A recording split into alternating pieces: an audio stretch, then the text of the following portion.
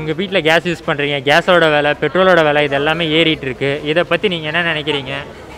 நாங்கள் கஷ்டப்படுறவங்களுக்கு இது போல விலையை ஏற்றினா நாங்கள் எப்படி வாங்குறது எப்படி நாங்கள் வச்சு குடும்பம் பண்ணுறது நாங்கள் எப்படி சாப்பிட்றது சாப்பிட மூணு ஆம்பளைந்து பத்து ரூபா உழைக்கிறதுக்கு வழி இல்லாத நேரத்தில் நாங்கள் எல்லோரும் காசு போட்டு வாங்கினா எப்படி வாங்க போகிறோம் எங்களால் வாங்க முடியலையா? அடுப்பில் வச்சு ஏற்படுறோம். சிலிண்டர் விலை ஏறின பிறகு நாங்கள் அடுப்பில் வச்சு ஏற்படுறோம்.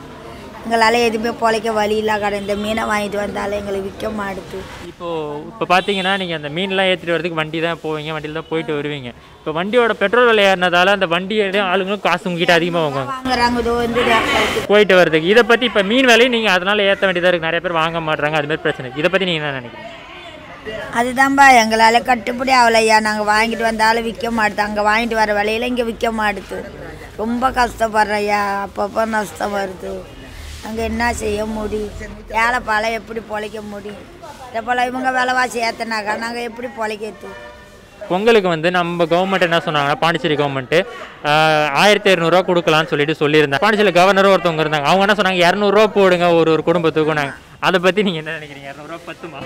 இரநூறுவா எப்படி கட்டுப்படி ஆகும் ஒரு நல்ல நாளில் ஒரு பொங்கலில் ஒரு ஆயிரரூவா போட்டால் கூட ஒரு ஒரு செலவு தள்ளிக்கிட்டு போகும். கூட மாட்டோம் நாங்கள் எதனா உழைச்சி கஷ்டப்பட்டு எதாவது செய்துக்குவோம் எதுவுமே இல்லாத வச்சுட்டாச்சு. என்ன செய்யுது இதுக்கெல்லாம் நாங்கள் ஓட்டை போட.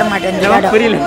மோடிக்கு நாங்கள் ஓட்டை போட மாட்டோம்மா இல்லை விலைவாசி ஏற்றி இதை போல் எங்கள் வவுத்தில் அடித்தா பவுன் விலை என்ன விற்றுது ஒரு நாலு பொண்ணு அஞ்சு பொண்ணு வச்சுக்கிறவங்க எப்படி கட்டி கொடுப்பாங்க? இது போல் பவுன் விலை ஏத்தனா? ஒரு பொண்ணு வச்சுக்கிறவங்களாலே முடியாது.